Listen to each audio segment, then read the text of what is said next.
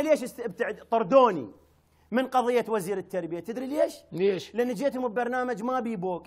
قلت لهم نبني 15 ألف مدرسة بالآجل مقابل فائدة بوينت واحد.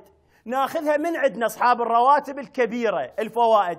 والأموال اللي تخصص للمدارس لمدة عشر سنوات نعطيها. إيه. حتى نبني المدارس لمدة سنتين يصير كل الدوام صباحي. ما قبلوا طردوني. ليش ما خلوني؟ ليش؟ ما خلوني لأن ما بقيت. ما جبت لهم مشروع يبوقهم. هذا المستثمر هاي شركة هنوى أو غير هنوى راح تجي تشتغل بفلوسها ما تعطيهم هم يريدون كل سنة تنحال ألف مدرسة 2000 مدرسة إيه. جهل فقر ازدياد أعداد الطلبة حتى تحتار الناس بالطالب بالطلاب بكذا بكذا بكذا. أسألك بالله. حتى المدارس الأهلية تشتغل. حتى تشتغل حتى الجامعات تشتغل. تدري تحويل إجازة الجامعة بيش؟ بأربعة إلى 2 مليون دولار. تحويل أسو- إجازة؟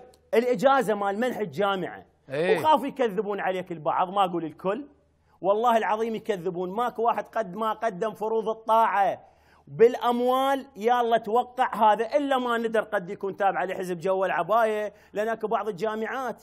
والله العظيم شو أقول لك يعني؟ هسه خاف أقول لك اسم ما يليق بالبرنامج وما يليق بالمستمع ويطلع لنا واحد لا حظ ولا بخت يظل يسولف. والله أقول لك كاظم الصيادي سولف هيك. والله العظيم أكو بعض أفضل وأنظف من بعض الجامعات.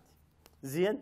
لا موقع جغرافي لا تخصيص لا حمامات لا قاعات درس لا تقنية حديثة لا نتابع لفلان وفلتان وعلان.